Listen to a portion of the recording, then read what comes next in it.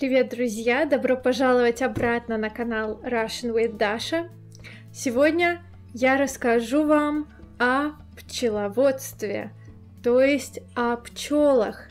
Если вы смотрели мои предыдущие видео, выпуски о том, как мы живем на даче, как мы открывали дачный сезон, то вы знаете, что на нашей даче есть также пасека. То есть это пчелиные ульи, и эти пчелы добывают, собирают мед. Мы собрали наш первый мед в этом году. В сегодняшнем выпуске вы узнаете о пчеловодстве в России, о пчеловодстве на нашей даче и узнаете немного информации о пчелах. Поверьте мне, пчелы это удивительные существа, удивительные насекомые, я была, если честно, поражена, когда узнала о том, как они живут, как они добывают мед. Вот. Я надеюсь, что вам понравится сегодняшний выпуск.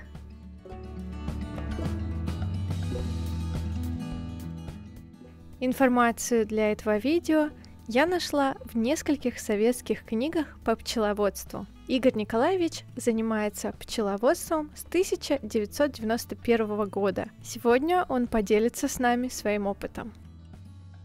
Почему пчелы так важны для этого мира? Опыление растений на 90% выполняется пчелами. Ценность их опылительной работы в 20 раз больше, чем стоимость получаемых от пчел продуктов – меда, воска и так далее – Пчела – это настоящее чудо природы. Она и фармацевт, и врач.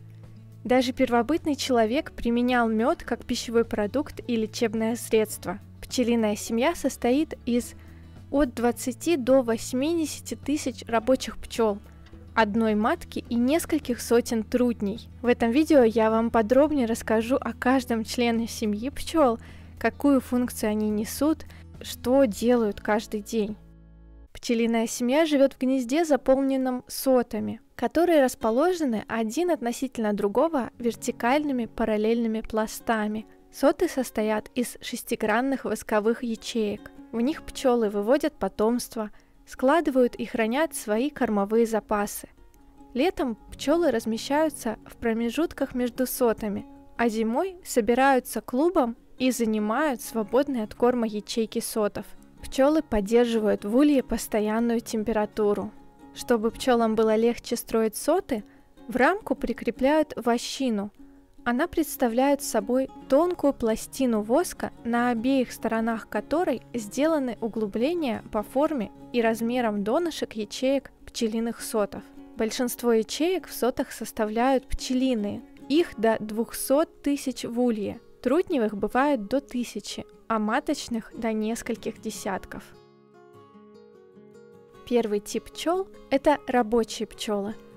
Это особи женского пола с недоразвитыми половыми органами, не способные к спариванию с трутнями и выполняющие работы в пчелиной семье. Они приносят нектар, перерабатывают его в мед, делают прополис, кормят личинок, ухаживают за маткой и кормят ее – они же строят соты, поддерживают чистоту внутри улья, охраняют гнездо от насекомых и животных, утепляют гнездо и постоянно приносят воду. Такая пчела в летний сезон живет до 40 дней. Личинке рабочей пчелы нужен 21 день, чтобы вырасти и выйти из ячейки. Уже на второй день своей жизни она начинает работать, чистить и полировать ячейки – на четвертый день жизни она начинает кормить личинок молочком, которое выделяет ее организм.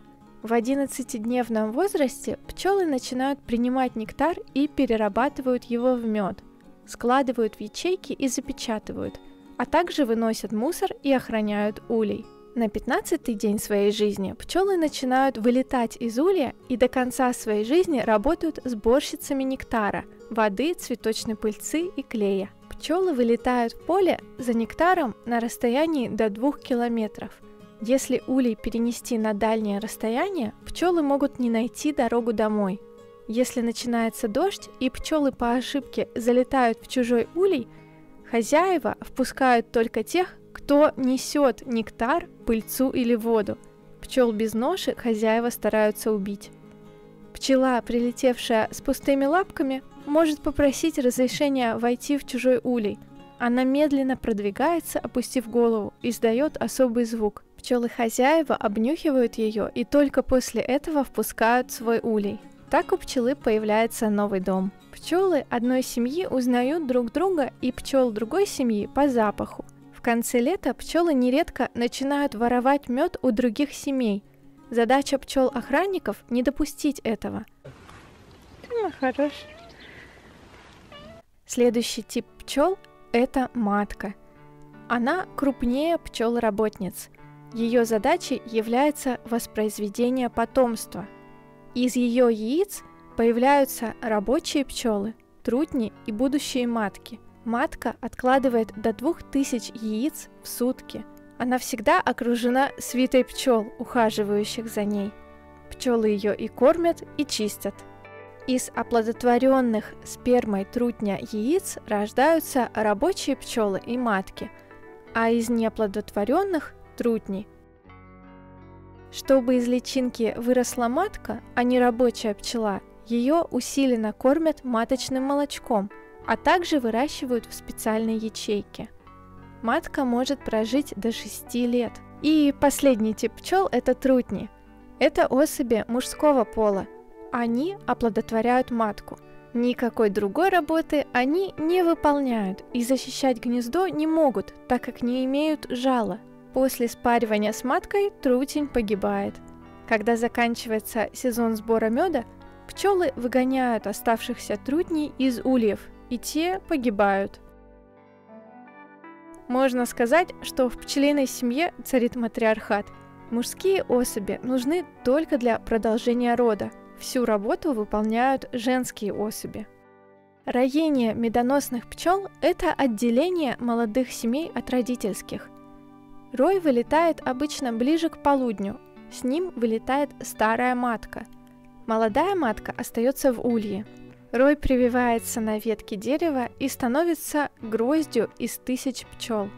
Если пчеловод вовремя не соберет рой, то он улетит в лес. В лесу пчелы заранее подыскивают новый подходящий дом для себя. Поэтому очень важно вовремя собрать рой. Пчеловод сначала переселяет дом в раевню. Для этого он разжигает дымарь, берет черпак и связку веток или перьев – под висячий рой подставляют открытую раевню и резко стряхивают в нее пчел. Затем пытаются собрать оставшихся пчел черпаком. Очень важно не повредить матку. Чтобы согнать пчел с веток, используют дым из дымаря. Когда пчелы соберутся в раевню, крышку закрывают и уносят в темное прохладное место, чтобы рой остыл – Вечером Рой переселяют в новый улей. Он сразу же начинает осваивать новое жилище, и уже на следующий день пчелы отправляются собирать нектар.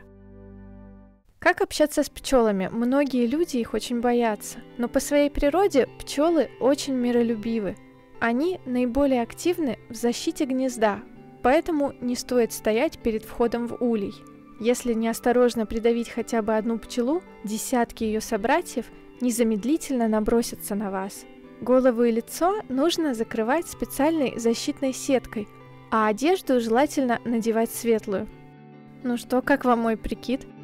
Пчел раздражают резкие запахи и звуки. Пчеловод должен быть аккуратным, спокойным, тихим и работать без суеты. Чтобы собрать мед, пчеловод отбирает по одной медовой рамке, смахивая пчел и отгоняя их дымом. Пчеловод никогда не забирает мед, который является кормовым, ведь этот мед принадлежит пчелам.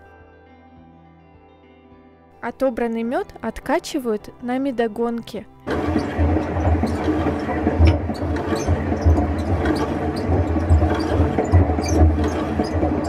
Густой вязкий мед, который накручивается на ложку, является зрелым, и чем он гуще, тем лучше по качеству –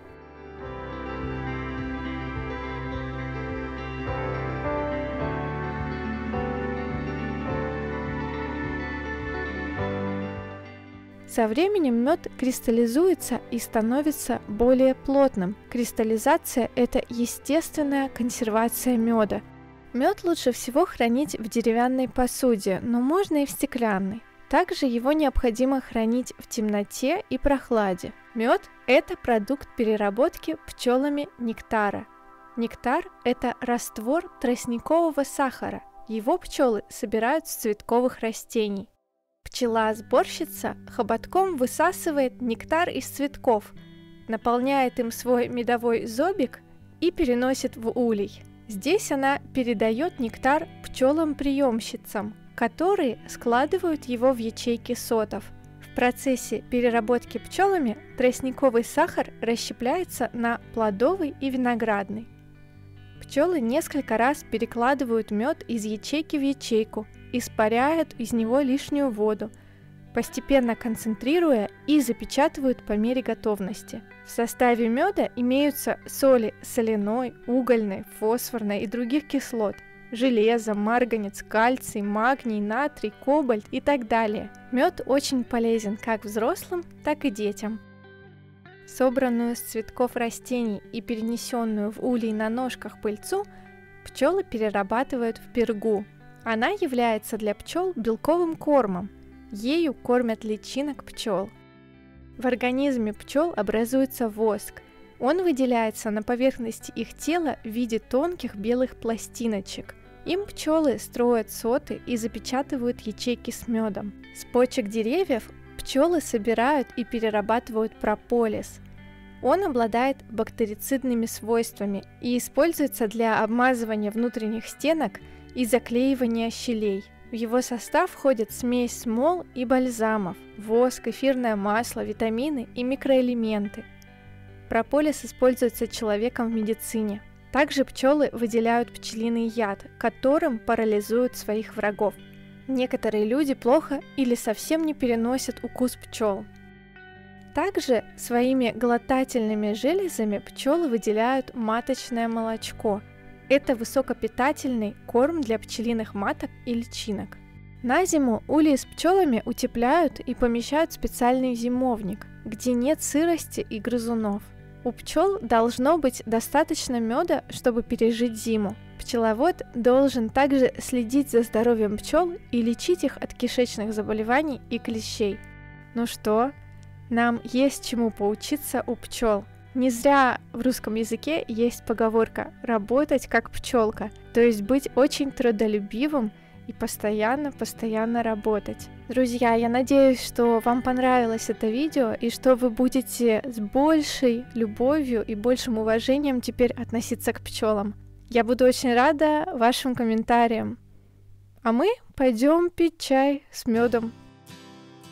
Старейший пасечник всея России Симонов Игорь Николаевич. На эту идею меня подтолкнула моя беспутевая жизнь. Требовались деньги, поэтому я решил купить улей. Улей первый я приобрел в деревне Кубаницы у Веры Федоровны. Первый раз очень сильно обрадовался, когда в середине августа этот улей принес мне целое ведро меда. Ну а с той поры, как говорится, пчелы роились, пасека увеличивалась. Пчелиная семья – это своеобразный мир. Чем меньше вмешиваешься в жизнь пчел, тем лучше для них и для пасечников. Поэтому основные мероприятия весной – это чистка гнезда, постановка новой свежей вощины. Летом это тоже постановка вощины, вовремя поставить магазины. Ну и посмотреть, если заполнены магазины, вовремя откачать мед. Все. Ну а в зиму надо утеплять, конечно, конец августа, начало сентября, когда ночи холодные, сверху кладешь маховые подушки, сокращаешь литки, все. Пчелы, во-первых, служат не для того, чтобы кормить человека медом, а для того, чтобы опылять растения, которые дают плоды и так далее и тому подобное. Для развития всей флоры требуются пчелы. Спасибо за внимание. Спасибо вам.